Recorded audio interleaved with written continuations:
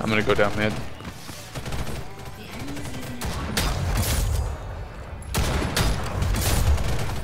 While you're just tearing them up.